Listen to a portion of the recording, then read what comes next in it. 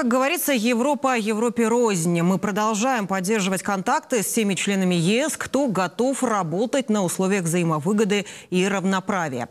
Министр иностранных дел Беларуси Сергей Олейник прибыл с визитом в Будапешт. Сегодня глава МИД встретился с министром сельского хозяйства Венгрии, а уже завтра пройдет заседание межправительственной комиссии по экономическому сотрудничеству и белорусско-венгерский бизнес-форум.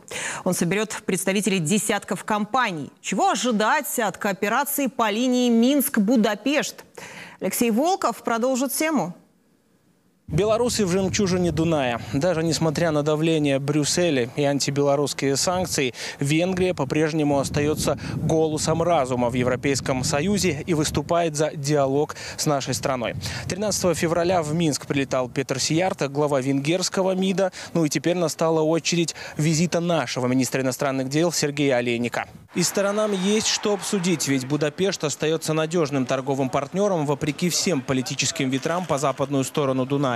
Товарооборот около 200 миллионов долларов, однако можем и больше. Это и является ключевой целью приезда главы белорусского МИДа. Ведь уже завтра пройдет межправительственная комиссия по экономическому сотрудничеству. Впрочем, стороны на ногах обсудили и сегодня ряд проектов.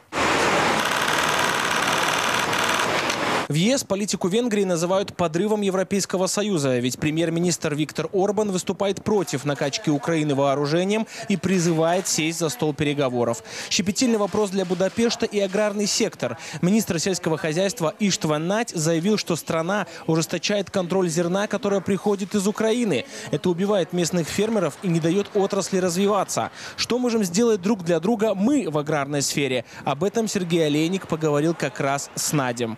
О том, что диалог получается, говорит и насыщенная повестка. А ведь помимо межправкомиссий завтра стартует и белорусско-венгерский бизнес-форум. Представители компаний, ведомств и финансовых институтов обсудят дальнейшее экономическое сотрудничество. Ведь потенциал двух стран никакими ограничительными мерами не сдержать. Алексей Волков и Александр Олешко. Агентство теленовостей. Будапешт, Венгрия.